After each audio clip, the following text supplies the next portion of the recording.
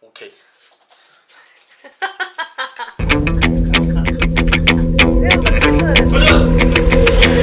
셋. 하나, 둘, 셋.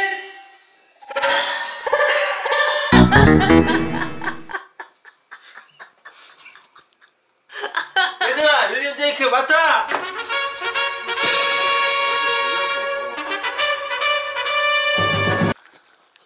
쟤는 휘핑이고 이거 생크림이라 얘가 더 무거워.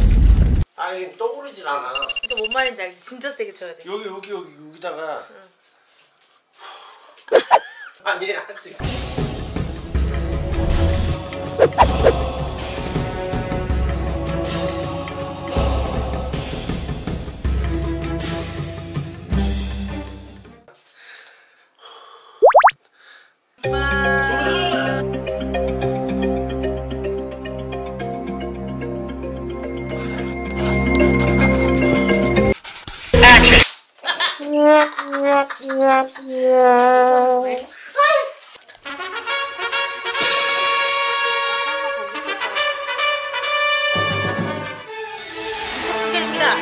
김지윤 씨, 지금 현재 소감은 어떠십니까? 씁쓸합니다.